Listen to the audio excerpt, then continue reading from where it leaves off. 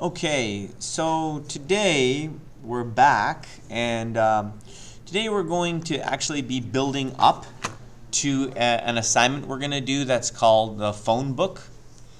And uh, we're going to be making a real life database application that uh, is persistent. So, in other words, your information will not disappear when you close your program. That means we need to use file IO, we need to be able to save. Uh, people's phone numbers and their names, and we need, we have to have some basic func- functionality like add a phone number, uh, delete a phone number, and um, and look up a phone number, and quit the program. So. Uh, we're gonna, but in order to get there, we need to learn a couple of things first. One of them is a module called uh, os.path. So let's go into IPython here. And let's, you guys follow along with me. So you guys just, you know, copy what I'm doing and um, it'll help you learn. So what I'm going to do is I'm going to go import uh, OS and then I'm going to go help os.path. So when I do that, so you could see that's what I typed, help os.path. And when I do that, to get out of it, by the way, you just hit the letter Q. But the one I'm looking specifically for here today is called is file. So I want to know if a file exists because when I run my uh, phone book application, it's going to be storing information inside a phone book file, which is going to have all the names and the phone numbers. But the issue is, what if you haven't run the application before? Then that file isn't going to exist. So you have to check whether or not the file exists. And if the file does exist, well then you should read it and pull out all the information and populate your container with all the names and phone numbers. So we need this is file. So let's see how this works. So let's get out of here. And in fact, let's even get out of this IPython again for a minute and let's just type in ls. Now, I have a whole bunch of files in this directory. Um, but there is one called, let's say, the short one here is called uh, pbook2. So if I was to go back, now here's something that I would suggest is have your, uh, we're going to be using this in such a way that our phone book data file and our Python file is going to be kept in the same directory. That way we don't have to worry about putting in full paths. So what I mean by that is, you know, usually, uh, well actually let me get out of this and show you what a full path is. So in Linux, if you type in pwd, then it shows you that's the present working directory. That's the full path. Okay. Now, uh, not sure actually how you do that in Windows because uh, I don't know much about Windows, but um, essentially in Windows, I think it would look something like this. You know, some some directory here, and then maybe you're in another directory and then here is your, you know, uh, I'm not sure, maybe it'd be like something like my documents, essentially. Okay? But I'm sure you guys kind of know. I think you can check it with like File Explorer or something like that. Anyhow, um, let's go back into IPython and um, we can take a look if a file exists. So we would go import os, and then we would go os.path, and then we would go is file, and then we would name the file as a string. So pbook2, I think was one of them. Let's see if that file exists. And it says true. Haha. So now, it, now I was able to query the operating system and say, hey, listen, does that file pbook2 exist? And it says, yes, it does. So let's try it again now, and let's try a different file. Now you're gonna you're gonna have different files in your directories, so you're obviously not going to be typing pbook2. Um, you know, you can type in, uh, let's see, what's the equivalent of ls? Uh, I, you could just use File Explorer to um, take a look at the files that you have in the directory where you have your uh, Python file. But in this case, I don't think I have pbook3, so it's going to return false. Okay? Um, in any case, so if essentially you could use something like, you know, an if statement and then followed by something like this to determine if the, if the file exists. So if the file exists, then you know you could go ahead and open it and read the contents. If the file doesn't exist, perhaps this is the first time you're running this program, in which case the your program needs to create that file when it quits. So in other words, save all the data that you have accumulated uh, and then save it to, to that file. So that's, that's what os.path is file uh, is useful for. Now, the other uh, topic that I wanted to go over with you today is called command line arguments. Again, now this one, we are not going to be able to learn this uh, through the interpreter. So we're actually going to have to use an editor for this. So I'm going to exit out of this, uh, Control D, and then get out. And I'm actually going to be using, I'm not going to be using Geany for this because you know it's it's too easy, it's tempting to hit F5 in Geany. But I can show you, you can use Geany as well. Okay, so here is a file that's called command line arguments. Now I did open it in Geany, but it's not going to make any sense to hit F5 to run this, and you're going to see why, because we're going to have to run this from the command line. Um, here, I have the first line is import sys. So we're importing this new library called sys, which stands for system. And we're going to print sysargv, and then we're going to iterate through sysargv, and we're going to print all of the things in it. Now I want you to know sysargv is a list. Notice it starts with sys, so it comes from the, we're calling a, a function from the sys module. And argv is the name of a list of all the things you type on the command line. So let me go and open a terminal. So you can't, you will not understand this unless you see it from a terminal. Okay, so I'm gonna put the terminal down here. And um, actually, maybe we'll go like this. And then we'll, I gotta kind of make this smaller a little bit. We can maybe make it bigger this way. Okay. So now what I'm going to do is I'm going to say Python 3 and then I'm going to run this file called command line args. So that's the way you would run a Python program uh, from the command line. First you type in Python 3 and then you put a space and then you put the name of the file. This is an alternative to hitting F5 in Geany. But I find that command line, anything on the command line confuses students much more than Python does because usually in Microsoft Windows you don't use the command line very much and so students are very unfamiliar with it and they find that it's uh, quite cryptic oftentimes. However, in the Linux world, the command line is king.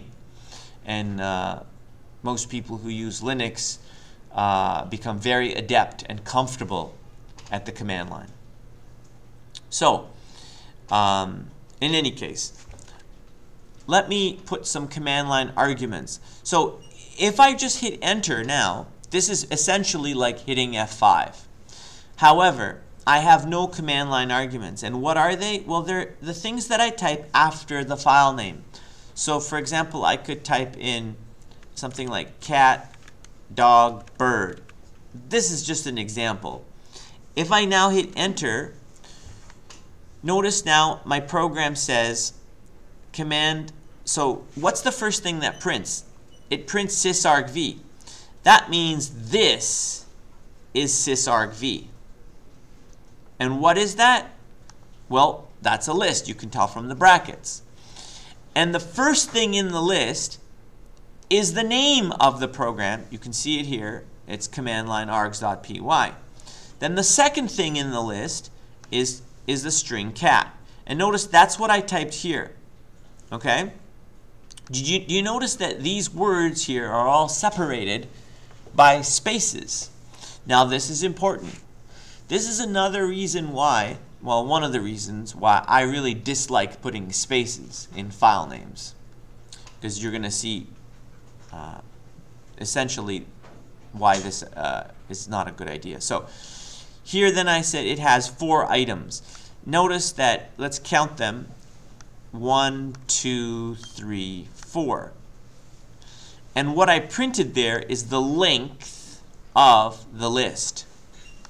Okay, so this is a list with four items in it. And what are the what are the things in the list? Well, at index 0, that's the first one, is the name of the program. Then at index 1 is the first command argument that I typed, which was cat, and the second one is dog, and the third one, or the third index, I should say, is bird.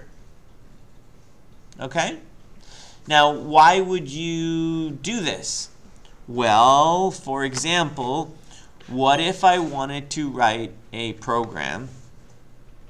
So, if you'll notice, what does the there's a Linux command called cat, which stands for concatenation. It's got nothing to do with this cat. That's an animal.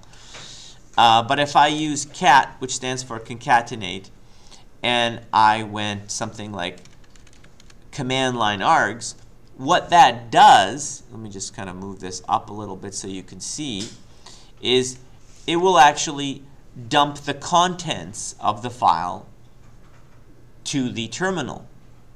Okay, so that's what cat does. So question, how could I write a program that would do the same thing? No problem.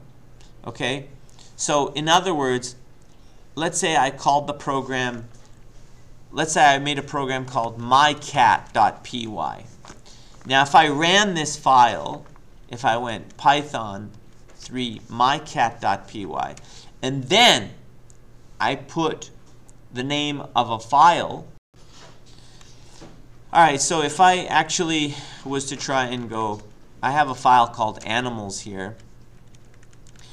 If I was to go cat animals, there you go. Uh, that works. Okay, so my my um, assignment for you is I want you to use command line arguments to go make a file called mycat.py and go python 3 mycat.py and then if you type in animals.txt it's going to do the exact same thing as this. So I'm, I'm wondering if I've actually already solved this. Yeah, I have mycat1.py. Let's just try it. Oh, right. Okay, so this was a, um, uh, this is back from Python 2. So uh, in essentially, I want, don't worry, I'll show you the solution, but I'm not going to show it to you now because I want you to give it a shot first. But essentially, I want that to produce the same output as that. So open the file for reading, print out every line, right? but this is the file that you have to open. So and essentially, you're going to have to read this string using sysargv. So why don't you pause the video now and give it a shot. Okay, so let's try the solution. Um, so the solution is essentially, um, let's open up uh, my my my cat 1 and 2 and let's open those guys up. Okay so here's my cat 1 here it is. So we import sys and then you open sysargv1 which is the index 1 argument right for reading. And then you would just go uh, f.read and then you would just simply print s and then you would close the file. Okay, so if I save this, and now let's go and run it, watch. Ready? Oops. So if I ran this, Python 3 mycat1.py, and then I go animals. Now animals is sysargv1. Remember how the indexes go. This is 0, this is 1. So now when I hit it, it prints out everything in that file. Okay, let's take a look at number two. Um, so this one I'm using the same way, but now I am, uh, oh, this is for a whole bunch of files. This is for, this is for multiple files. Yeah, so that's kind of cool. So in this case, uh, if you had multiple files, you could put them all after separated by spaces and they would all print out. Okay? Um, I just want you to know that with this one, I could have also done it I could have also done it like this. I could have said with open uh, sys.argv 1 as f, and then I would say uh, print,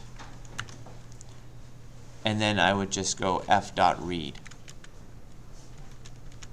That that would do it too, and then you know you're not actually saving it into a variable, it's, and you don't have to close the file. Um, if I save this and I go back here uh, it would work also again. See? Um, yeah. Okay. Um, and if you're wondering what this is here, that blank line is because the print is putting the blank line. So if I wanted to get rid of that, I could just go like this. End equals nothing. And then if I save that and I ran it also, then we get that and no blank line at the end. Okay? Okay, so I'm going to now give you a homework assignment, uh, which I'll show you the solution for next period. But what I'd like you to do is to um, write a persistent phone book application. So if I, I'm going to show you kind of how it looks like here. I'm going to go Python 3 and I'm going to go phone book uh, with error checking. Uh, and I don't need to use pickle here, but if we'll maybe do that one later. And um, if I run this, oh yeah, yeah, right. Okay, so I'm gonna, let's call this uh, pbook and um, was it pbook 2? Yeah. So, oops, no, maybe it was pbook. Yeah, okay, that's the one. So essentially, when I run the program, it says, do you want to add, delete, find, or quit? So it's A, D, F, or Q. So I'd like to add a phone number, and um, the, the name I'll say is Bill, and his number is 444 4444. Okay, and let's add another one, and I'll add John, and his number is 555 uh, 5555. And so now um, I would like to find or look up a phone number. I'd like to know what, what is Bill's phone number. Okay, so that's Bill's phone number. Now when I quit, okay, it says thanks for using phone book. But the quit, all of these, by the way, are functions. So A for add is a function, D is, is delete is a function, F is a function, and Q is a function. And what quit does is it actually saves um, my information into pbook. So now if I run it again, and now I say, can you please tell me the phone number to Bill? It'll show it to me, even though I have run the program before. So it'll actually go and open this file, and it will read the contents into a dictionary where the name of the person is the key and the phone number of the person is the value. So essentially I am storing a dictionary like we did last period. But now it's in a full-blown database program. And really all you're going to have to do is just write the functions for these letters. And, it, and let's say, for example, if I deleted someone, you know, if I delete, it says enter the person's name to delete. Well, I'll delete Bill. So now Bill is deleted. So if I try and look up Bill, it says that name does not exist. But I can look up uh, John's number, and there is John's phone number. Okay? And so now I can quit the program and all the information that I have added or deleted is saved in the file called pbook. And if I show you what pbook looks like, that's what it looks like. Okay? So that's your assignment for next period. Write that application, that phone book application with command line argument. And have fun and good luck. We'll go over the solution next time.